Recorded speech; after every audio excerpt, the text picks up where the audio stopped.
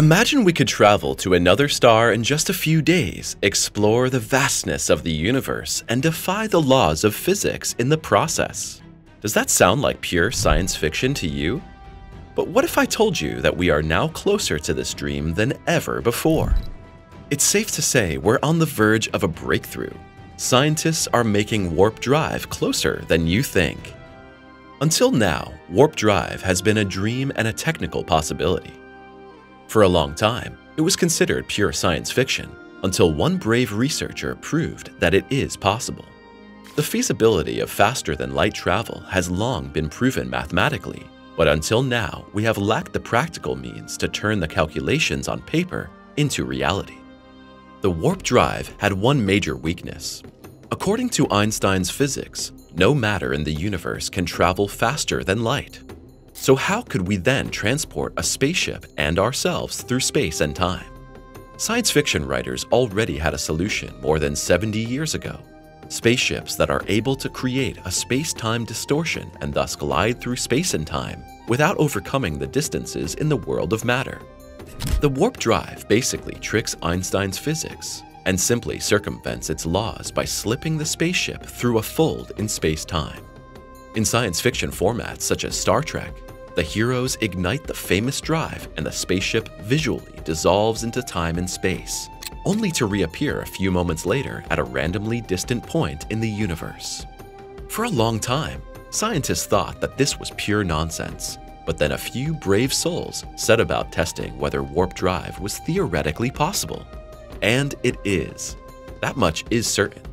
We only have a few small problems to solve in order to travel faster than light through the universe. In addition to the barriers of the relativity equations, another problem has arisen. The energy we would need to distort space-time cannot currently be generated or calculated.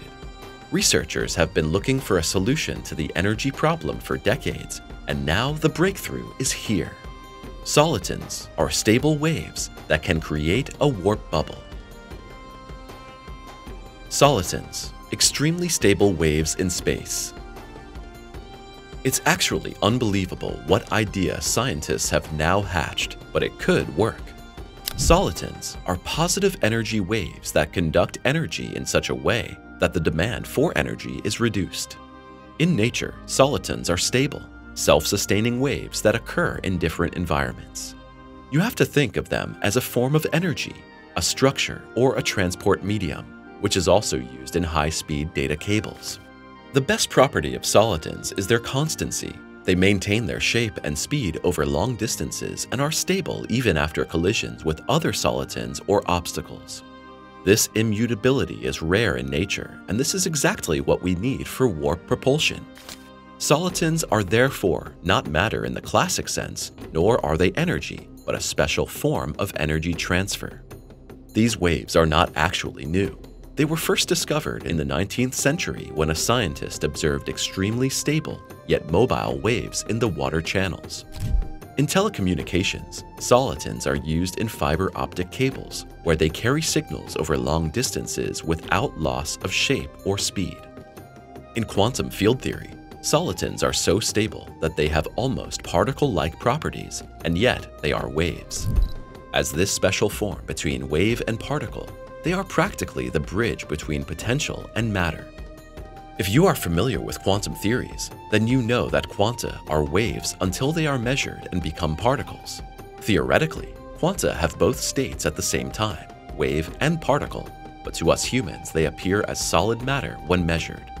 Incidentally, this mystery of quantum physics and the reality of our material world is still as incompatible with Einstein's physics as the warp drive.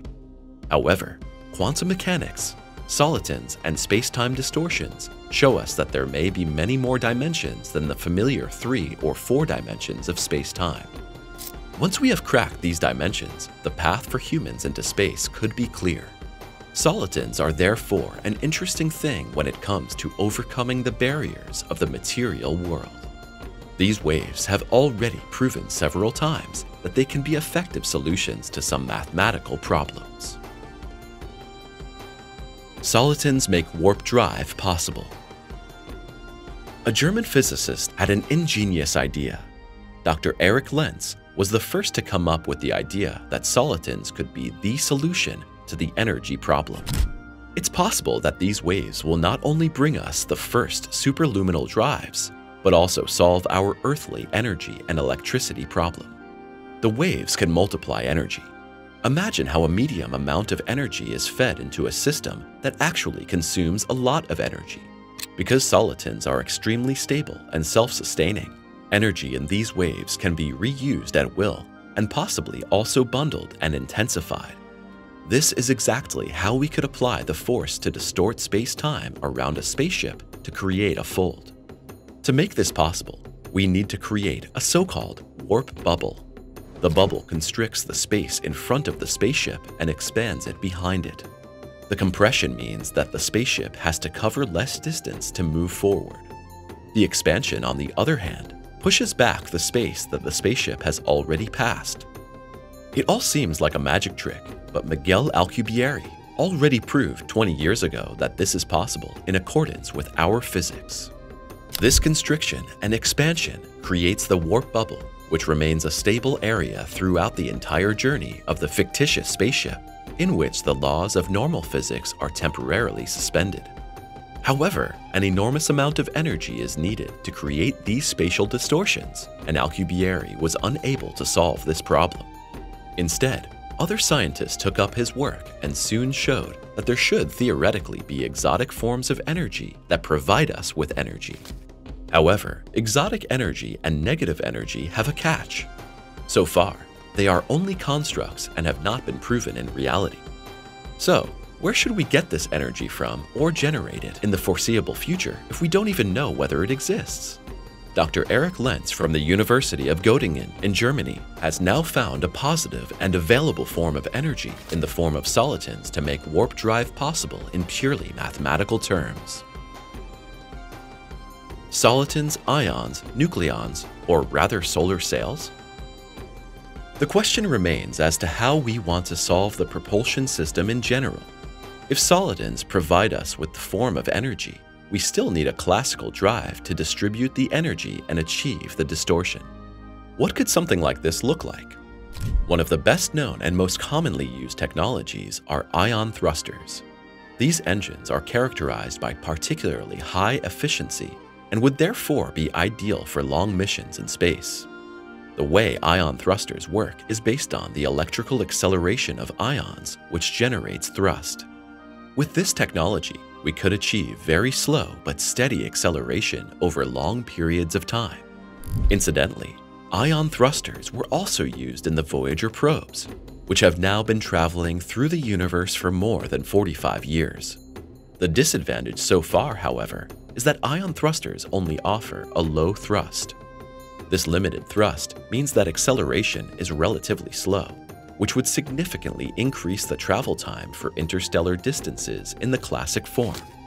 However, the technology is far from exhausted, and we will have to see what progress will be made in this area.